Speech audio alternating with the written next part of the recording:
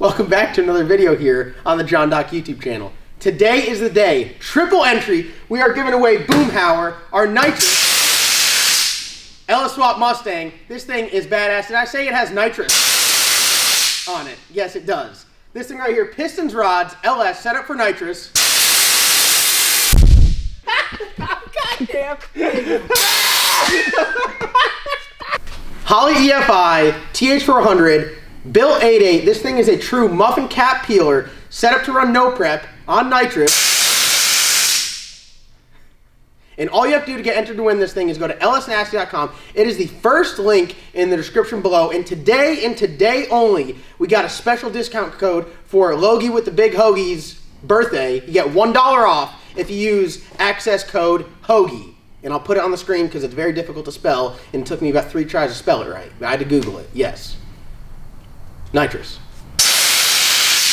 We have new hats up there. We got small block forward nasty hats for all you nitrous guys that have a small block forward. And we got small block forward nasty shirts up on the website available now. The hats are finally available, so you guys can get those. Uh, we got brand new American flag inspired LS Nasty shirts.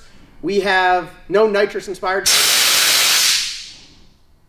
We got flags, we got hats, we got socks, we got stickers, we got key tags, we got posters, signed posters, only a few left, they're limited edition, you guys can get those as well. Uh, and we got a bunch of badass stuff. So uh, this right here today is the last day of the giveaway. Like I said, it's triple entry. You can get a dollar off if you use the access code Hoagie. So you guys can ball out on the website. We got a bunch of really badass stuff. We got a mystery box, which is absolutely killer. It's got a limited edition shirt, which you guys can only get through the mystery box. It's got uh, the giveaway right here. It's sad that it's coming to an end. This thing has been uh, really fun. It's been a great car to have here on the channel. Uh, had some great upgrades with it, putting the Holley Terminator on there. The car runs great at the track. You guys see it. We go rounds running the street car class.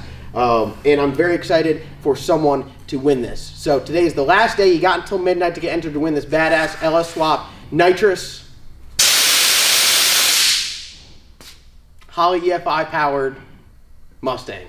I hope you guys enjoyed today's video. Don't forget to go to lsnasty.com. Discount code HOAGIE. H O A G I E.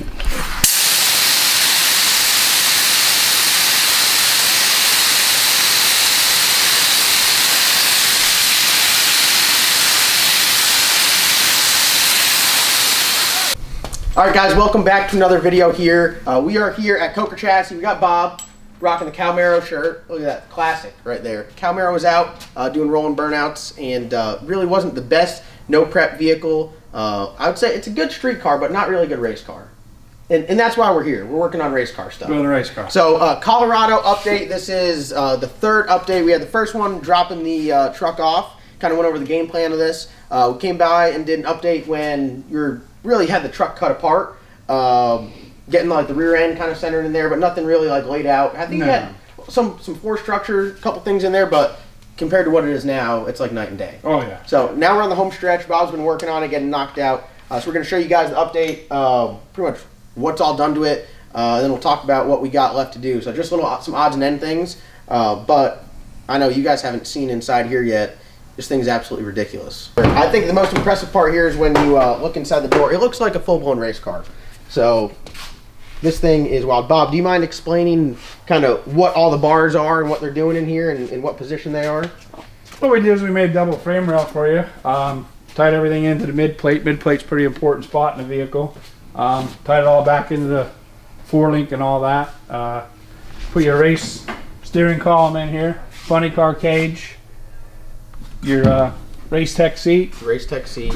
Uh, So this thing I right guess we're gonna run exposed transmission. exposed transmission. At, at people, I'd say a lot of people are scared of running the exposed transmission. I think it's more of a mental thing because really, any little bit of carbon or sheet metal you have there really is not going to stop it. It's anything. not gonna stop what's coming through. Um, and we talked about this. So I think in the last video when we were up here, we were talking about what we're going to do, running the double frame rail, keeping the factory floors, um, and we're trying to build the truck to fit in as many rules as possible. And I think it, you know, it still does. Still has factory floors in there. Transmission tunnel we removed. As far as working on the truck, working on the transmission, the drive shaft, anything, a lot easier. way easier. Um, a lot easier to install the double frame rail stuff because obviously we're not trying to put floor back in there. Uh, and I think that the double frame rail is like a cool feature that this truck's going to benefit from uh, to eliminate any chances of being a soft pretzel, as that's, that's Bob's terminology, is soft pretzel. we don't want soft pretzels around No, here. not Um, and then you ran that all the way to the uh, mid plate. Yep. And then from the mid plate, we tied it into the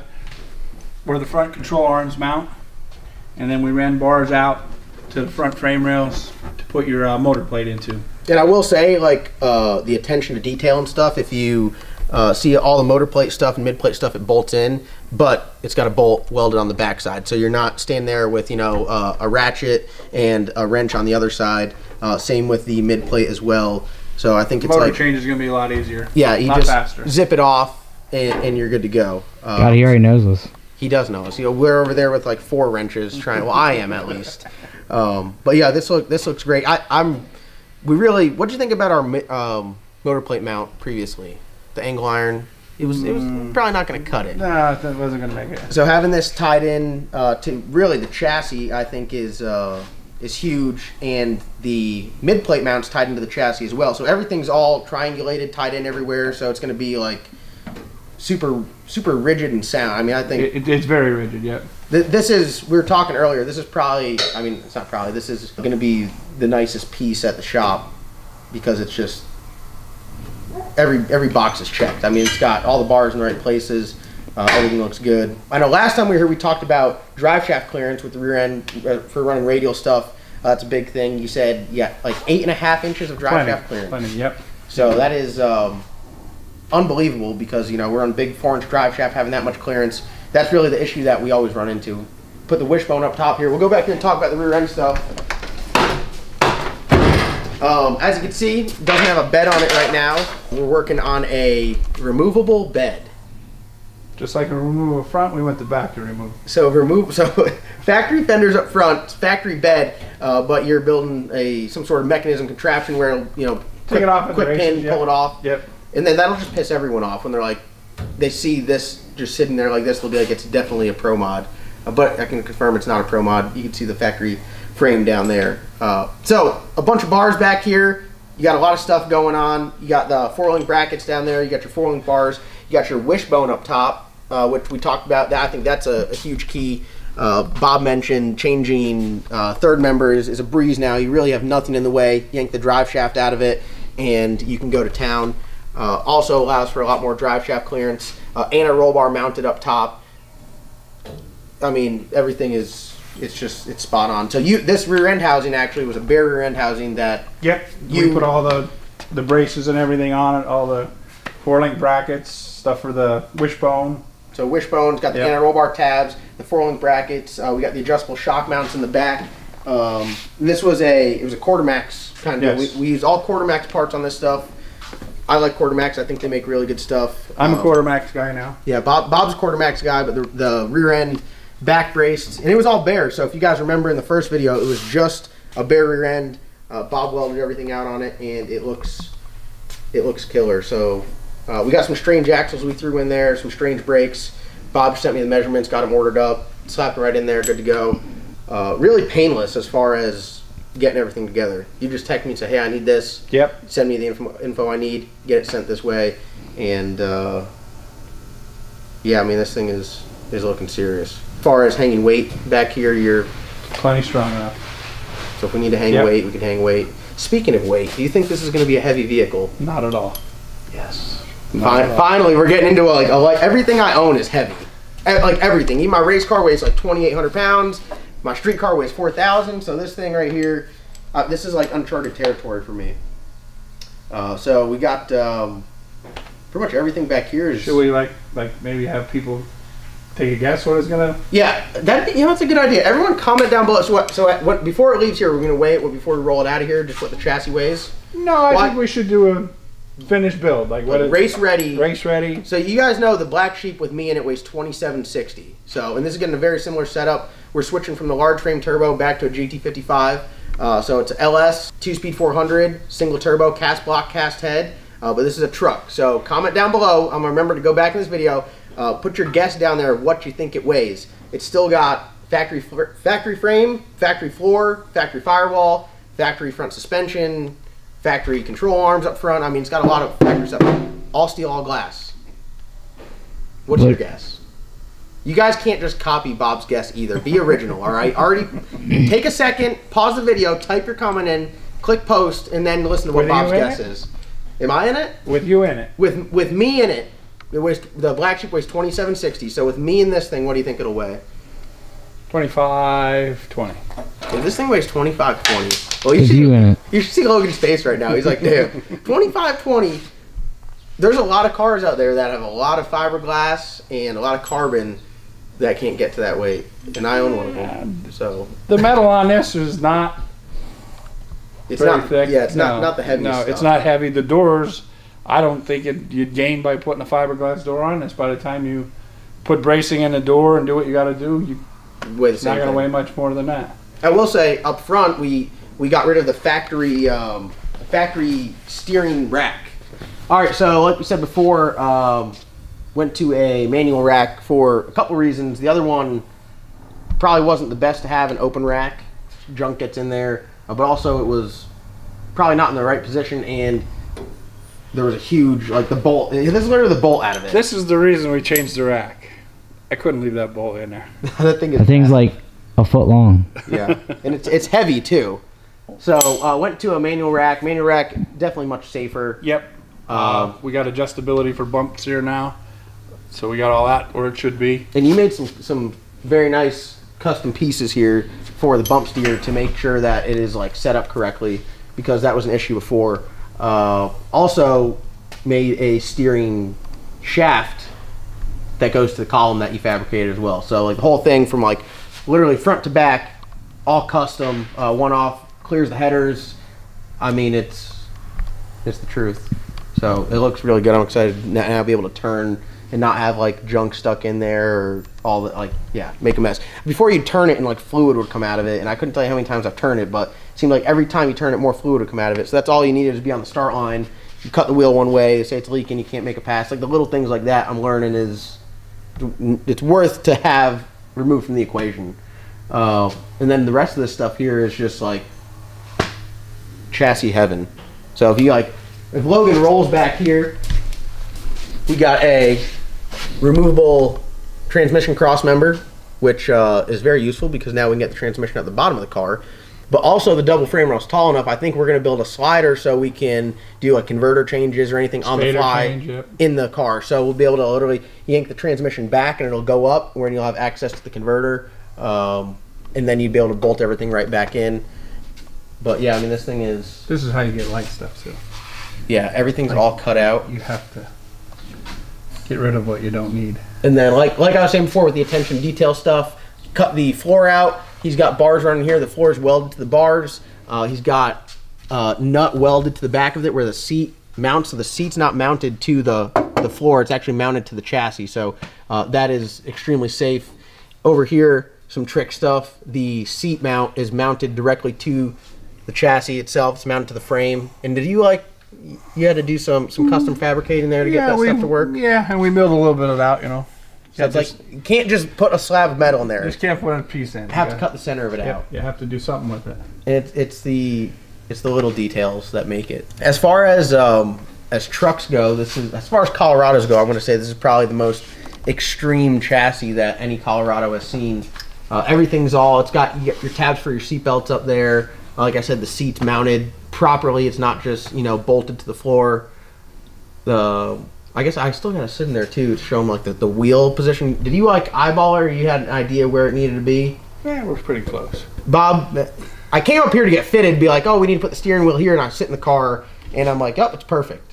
So the seating position, the steering wheel, all that stuff's great. Um, Back here, like you were saying, easy. yeah, this is how the car is going to go down track. If you need to pull the third member out of it, it's literally you take the drive shaft out, you unbolt it, and you can work on it. Extremely serviceable, uh, friendly at the track. Um, have a drive shaft enclosure because we're going to run exposed transmission, so the drive shaft's going to be coming out of it. That'll be put in there, uh, and then really just like a couple of odds and end things. Um, mount shifter, finish. I guess mounting the steering, the Yep. steering column, which is already in the perfect position. So just tack that out, uh, and then Parachute. parachutes and parachute handle. Yep. So definitely the home stretch And then home it goes. and home it goes. Then I think uh, after getting it back, the chassis is is probably one of the more capable ones we own. So as far as trying to go fast, I think this thing will be right at home trying to go fast. So we'll, we'll probably run it with a slick a little bit.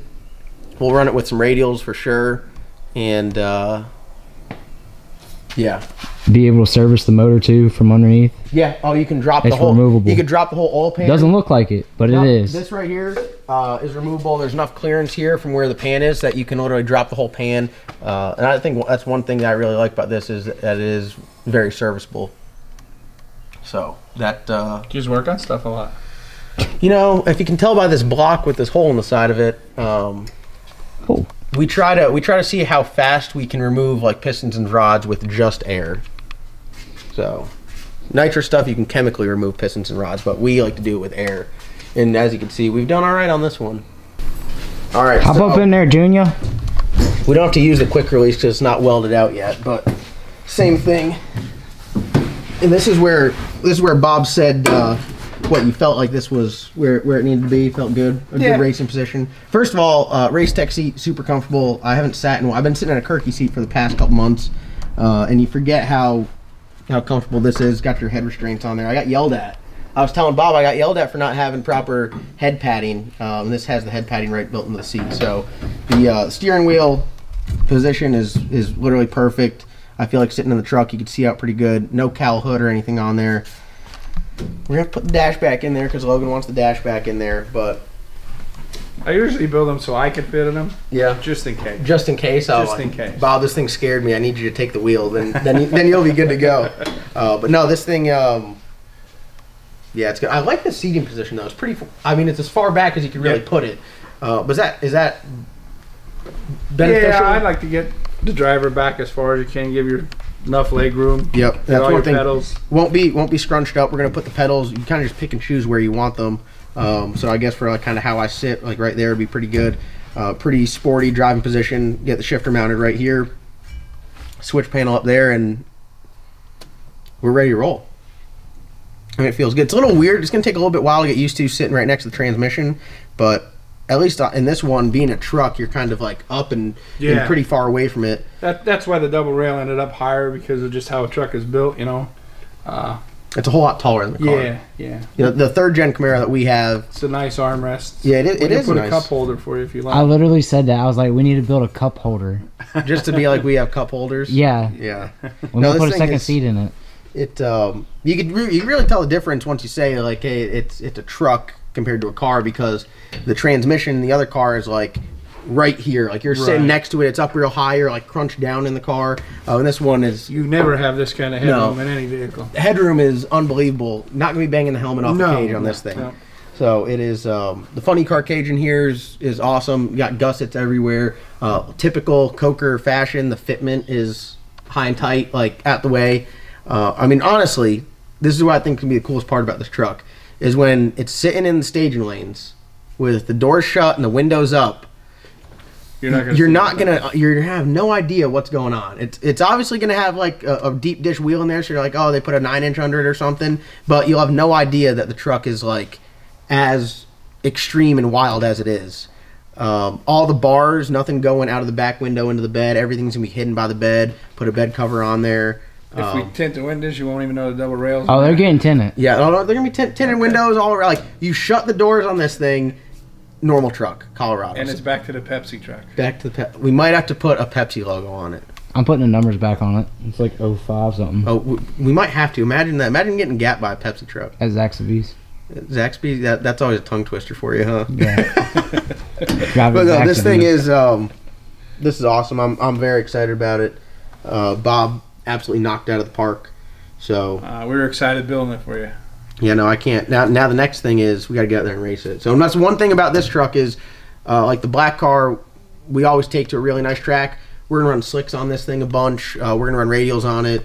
Uh, we're gonna go out there and race it. 28 inch tire shootouts. Like this is a, a tool for the channel to bring content to you guys. So. Uh, and to race and to win. So hopefully this, I feel good. I mean, the chassis right here is, is definitely everything you need to win. It's all done right. No corners cut.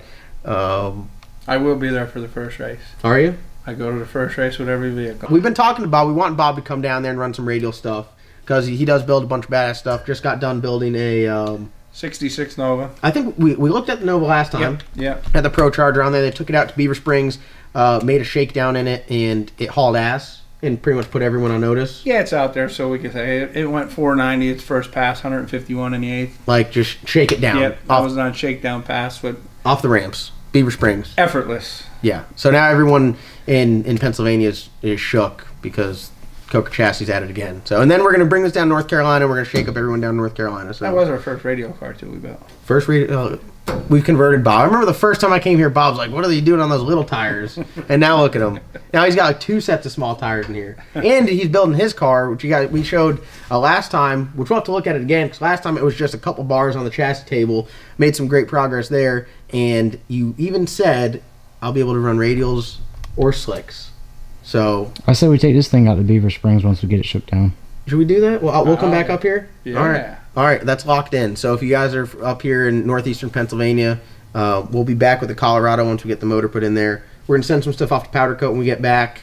Um, really, I think we got all the parts to slap it together, and uh, and then we'll go and do some racing. So yeah, I'm excited about it. Uh, Colorado is is sweet, and I think the next the next update will probably be picking it up. Yep. Right. I'll Yeah. come up here at trailer. We'll shove it in the box, and uh, we'll hit the road and get to work back down North Carolina. So uh, if you guys need any chassis work or anything like that, fabrication, chassis cages, um, back halves, front halves, turbo kits, uh, parts, Restorations. no, restoration, quartermax parts, uh, pro charger stuff, Neal Chance converters. Yeah. Uh, hit up Bob Kocher Chassis. Links always in the description below, and he can get you taken care of. Do this killer work, and then get you rolling. So I'd definitely give a shout out to Quartermax. They, yeah, first time I use their stuff, and I'm impressed. yeah. The quarter, it's I like quality stuff. Uh, everything fit, Yeah, worked well. I think that's like the biggest thing, especially in this industry, is you, you order stuff a lot of times and they don't fit, or they're wrong, or Or you can't get it. or you can't get it. Quartermax And stuff, Everything you told me it would be here in a day Yeah. or two, and it was here in a day or two. So no no complaints with Quartermax. They're a bunch of great guys over there. Love dealing with them. Uh, Strange axles and stuff that they got here really quick yes, too. So uh, sooner than we thought. Yeah, uh, uh, they said two weeks and they showed up in a week. So um, there's a lot of moving parts to put one of these cars together, and uh, it's great when they're all working together. So And lately, that's like big. If you can get something, yeah, because you can't get parts anywhere. You can't, especially when you're like me, when you're always breaking them and blowing them up. So get to buy this round. John Doc got to buy this round. The black sheep is on the property. He got to buy for the next round. Fifteen.